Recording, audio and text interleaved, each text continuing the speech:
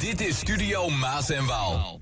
Dan gaan we het over de Gouden Leeuw hebben. Bij ons eh, deze ochtend eh, in de studio eh, Willy Lamers. Goedemorgen. Goedemorgen.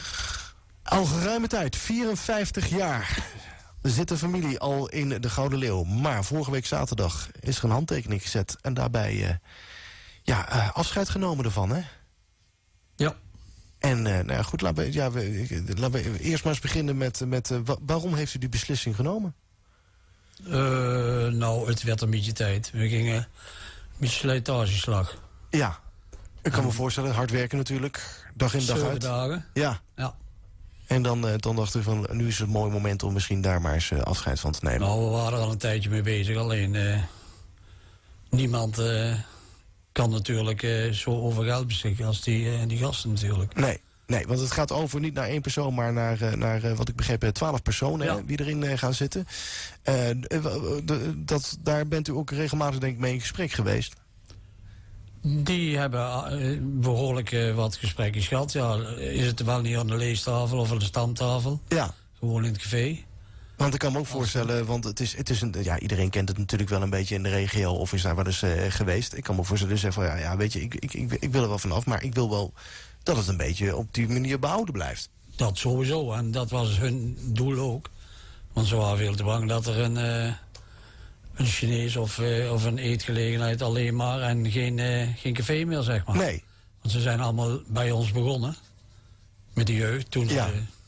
met de 15, 16. al langskwamen. Ja, en ja, die wouden er toch ook dat het een beetje behouden bleef. Ja, want in deze tijd, hoe belangrijk is dat? In zo'n eh, in zo'n eh, in zo'n dorpskern eh, nog... nog- Nou ja, als je ziet toen wij het route kwamen dat je er 15, 16 had. En nou nog maar twee eigenlijk. Qua café dan. Ja, Dat is de bommen naar wij. Ja, dan, dan zie je wel wat. En als je rondliggende dorpen kijkt, daar, daar zit eh haast niks meer. nee. Maar het, ik, het kan me ook voorstellen, het, het, het, het is ook een, het hart van een, van, een, van een gemeenschap... waar veel mensen bij elkaar komen. Dat het ook echt belangrijk is dat zo, zoiets er nog is om bij elkaar te komen. Ja, dat is het ook. En het wordt, net wat ik zeg, steeds minder. Ja. En dat is wel leuk. 54 jaar zitten, zitten, zitten u in ieder geval uw familie er al in, hè? Want het is overgegaan eh, van, eh, van vader op zoon. eh, Ja. Ehm, ehm, even terugblikken in al, die, al, in al die jaren. Want er is denk ik heel veel wel veranderd, hè? Daar is zeker een hele hoop veranderd, ja.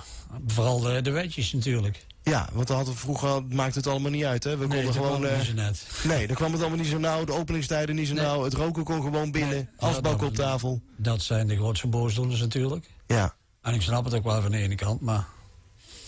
Kost wel geld. ja, is daarmee de charme misschien wel eh, kwijtgeraakt van Ja. zo'n dorpscafé? Vind ik wel van een bruincafé dat... eh dat mag ingerookt worden, laten we het zo zeggen. Ja, maar ook gewoon van, ja, weet je, niet, niet aan de horeca, en niet aan sluitingstijden en dat soort dingen. Hou gewoon, we zijn open en als het Ja. gezellig is, dan blijven we gewoon Ja, lekker- juist, ja. Ja, Ja, kijk, ik, ik bedoel, eh, ja, als je Nijmegen hebt, eh, daar daar is dat allemaal tot zes uur. Mhm. En wij moeten om twee uur dicht en eh, door de week is één uur. Dus ja.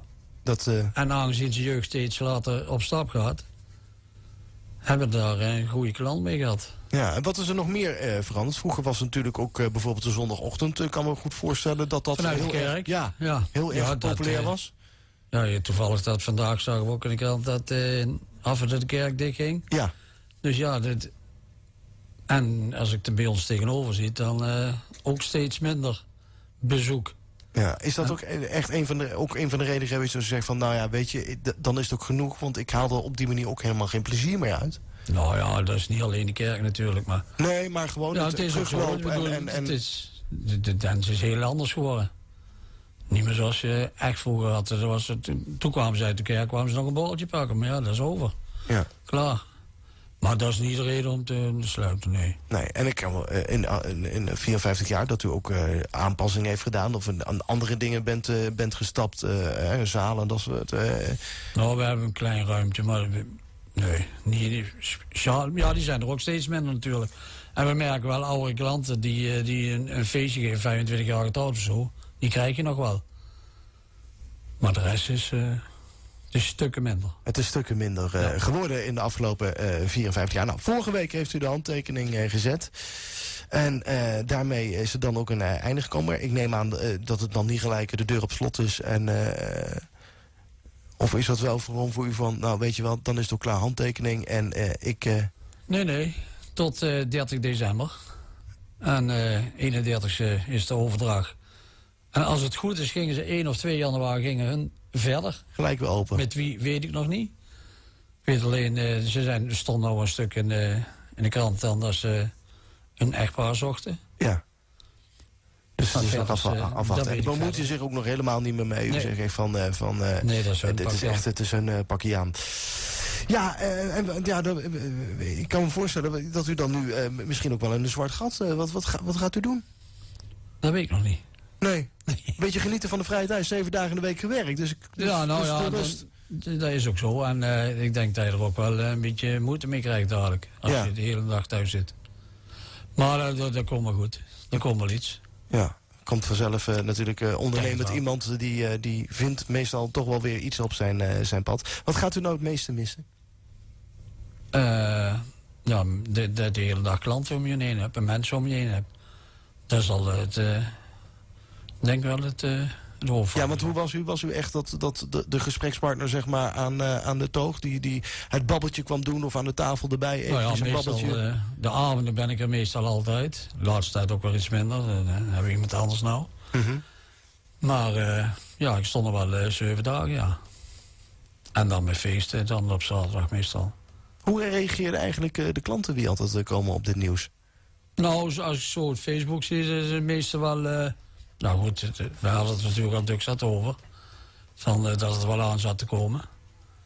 En, eh, maar meestal allemaal wel... eh, ja, Want dat is ook vaak voor de mensen natuurlijk waarom ze terugkomen. Je, je hebt een bepaalde binding niet alleen met, de, met, met, met, met, met, met het dorpscafé waar ik kom... maar ook met de mensen die daar werken. Hè. Met- Mhm. dat, dat, dat is een soort...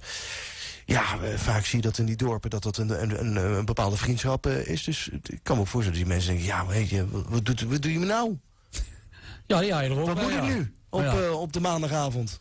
Ja, dat zit ook. Ja, ze vroegen ook al of het Beate naar me doorging, of dit aan me doorging. En, Ja. eh, ja.